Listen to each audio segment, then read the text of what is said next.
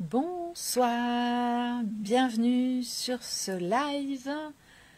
Alors, je laisse quelques secondes à Facebook pour vous notifier que je suis en direct. Et je vais pouvoir célébrer avec vous.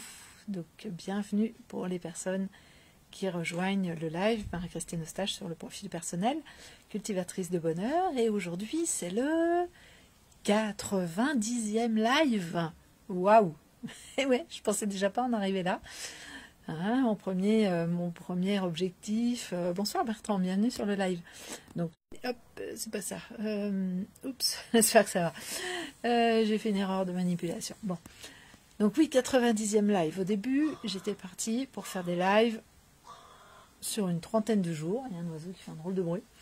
Pour faire des lives sur une trentaine de jours. Et j'ai poussé à 90 en ne sachant pas vraiment si j'allais réussir à retenir ça. Et puis bah oui, finalement, donc je vais pousser sur euh, plus. Voilà, je mets pas de date. Euh, peut-être 365, peut-être moins, je ne sais pas. Coucou, je crois que c'est Kassem que j'ai vu passer. Euh, donc ouais, 90e live. Vous les retrouverez évidemment tous sur YouTube au fur et à mesure. Et ce soir, autre chose. Ah, ça, je ne sais pas si vous êtes au courant. Mais dans deux jours, commence la nouvelle saison de rêves à réaliser. Pourquoi dans deux jours? Eh bien parce que dans deux jours, c'est la nouvelle lune.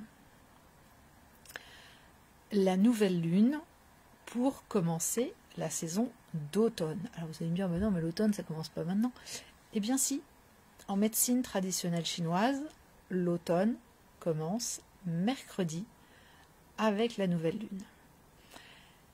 Et qu'est-ce qui se passe à l'automne? Eh bien, à l'automne, on commence à préparer le terrain pour la réalisation des rêves qui verront le jour au printemps l'année prochaine. Voilà, parce que si on veut avoir des fleurs au printemps l'année prochaine, eh c'est maintenant qu'il va falloir les mettre en terre. Et c'est pareil pour les rêves. Ce fonctionnement, je l'ai adopté il y a maintenant quelques années. C'était un petit peu décalé parce que le démarrage se faisait au mois de septembre, enfin fin août. En fait, moi je préfère caler sur euh, la lune, le rythme de la lune et la médecine traditionnelle chinoise qui est un petit peu plus logique par rapport à notre organisme, puisque nous sommes des êtres euh, vivants comme le reste des plantes, des arbres et tout ça, et que notre énergie, eh bien, elle va suivre l'énergie de la Terre. Alors en ce moment, l'énergie de la Terre est un petit peu bousculée parce qu'il y a de la canicule, donc on est encore, euh, on est encore sur une énergie un peu d'été.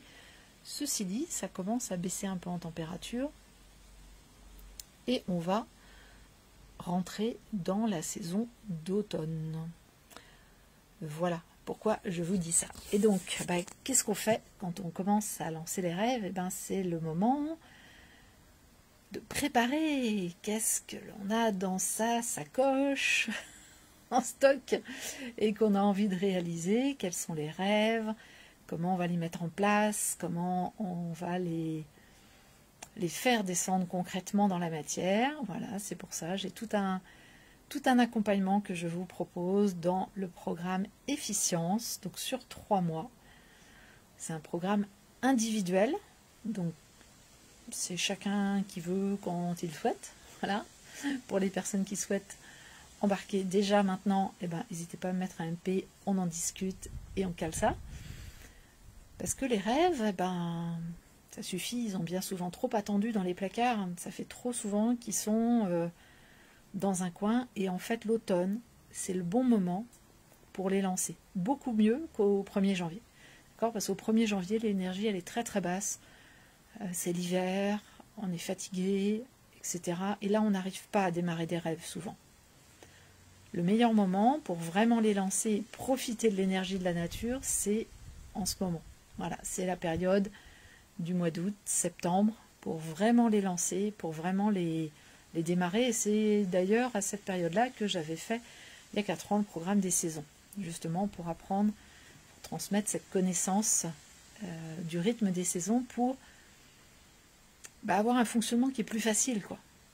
Parce que c'est pas la peine de ramer, on peut faire des choses simplement dans la mesure où on les fait à la bonne période de l'année. Et voilà, c'est ce que je souhaitais vous partager pour ce soir. Sur ce, je vous souhaite une excellente soirée. Si vous souhaitez en discuter, eh ben, au plaisir. Vous mettez un petit MP ou un commentaire. On se prend une vingtaine de minutes pour en parler.